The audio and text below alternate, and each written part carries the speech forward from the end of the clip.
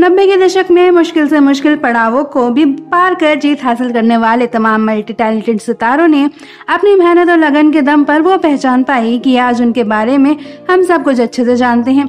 लेकिन दोस्तों, शायद आप ये जानते हो कि गुजरे जमाने के वो सभी सितारे आज बीते समय के साथ कहा, किन हालात में और कैसी ज़िंदगी अपने पार्टनर और बच्चों के साथ गुजार रहे हैं, जिनसे आज हम आपको रूबरू करा कर इन सभी सवालों के जवाब देने वाले हैं। तो फिर चलिए जानते हैं उनके बारे में। नंबर एक, प्रीति झिंगियानी। मोहब्बत और आवारा पागल दीवाना जैसी फ़िल्मों में एक्ट्रेस प्रीति झिंगियानी, जहाँ सिंपल सूट, सलवार पहने स्ट्रेट सुनहरे बालों में काफ़ी पतली दुबली पर फेयर एंड क्यूट और नौजवान नज़र आई थी, वहीं इकतालीस साल की उम्र में ये मॉडर्न ड्रेस कैरी करती हुई खुले बालों के साथ काफ़ी मोटी और एजेड दिखाई देती हैं।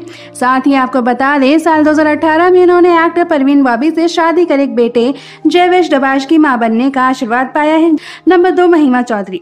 वहीं लाखों लोगों के दिलों में बसने वाली एक्ट्रेस महिमा चौधरी, जहाँ परदेश फ़िल्म में सिंपल फ्रॉक सूट पहने करली बालों और चोटी बांधे लाइट मेकअप और ज्वेलरी में बिल्कुल यंग और संस्कारी नज़र आई थी। वहीं अब ये उनचास साल की उम्र में स्टाइलिश वेस्टर्न ड्रेस में कैंसर होने के चलते बिना बालों में कम सुंदर और उम्र दराज लगने लगी हैं। बता दें, बिजनेसमैन पति बॉबी मुखर्जी से तलाक होने के बाद ये अपनी इकलौती पंद्रह साल की बेटी आर्याना चौधरी की सिंगल मदर बनकर और करियर को विराम देकर उसे अच्छे से पढ़ा लिखा रही है। नंबर तीन, एकता सोहनी।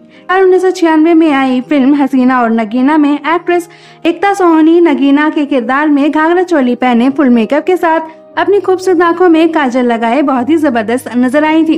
वहीं आज अभी अपनी इक्यावन साल की उम्र में फैंसी ड्रेसेस कैरी करती हुई काफ़ी मोटी और एजेड लगती हैं।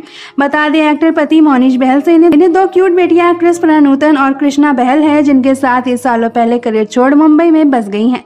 नंबर चार संजय कपूर। पहली बार मोहब्बत की है, कुछ न समझ में आए मैं क्या करूँ? इस दमदार गाने और फ़िल्म सिर्फ़ तुम से मशहूर अभिनेता संजय कपूर, जहाँ नॉर्मल पैंट शर्ट पहने, बड़े बालों के साथ क्लीन शेव में काफ़ी नौजवान दिखाई दिए थे।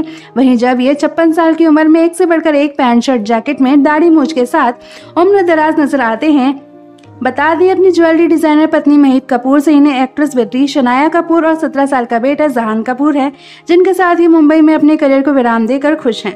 नंबर पाँच, मनीषा कोयराला वही मन फ़िल्म की प्रिया, यानी कि एक्ट्रेस मनीषा कोयराला जहाँ फ़िल्म में सूट सलवार से लेकर वेस्टर्न ड्रेस में खुले हेयर स्टाइल के साथ लाइट मेकअप किए, बहुत ही क्यूट दिखाई दी थी। वही आज ये अपनी इक्यावन साल की उम्र में सूट सलवार छोड़ स्टाइलिश ड्रेस में ही, विदाउट मेकअप के छोटे हेयर स्टाइल में बूढ़ी नज़र आती है। कल दोस्तों, इन सितारों में इतना चेंज आने के बाद भी आपको कौन आज भी अच्छा लगता है? कमेंट करके ज़रूर बताएँ।